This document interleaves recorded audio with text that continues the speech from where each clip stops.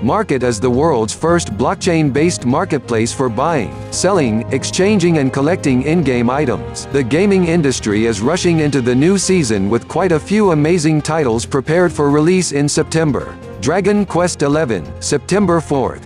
Marvel's Spider-Man, September 7th. NASCAR Heat 3 September 7th. NBA 2K19 September 11th. Shadow of the Tomb Raider, September 14th. Undertale, for Nintendo Switch, September 18th.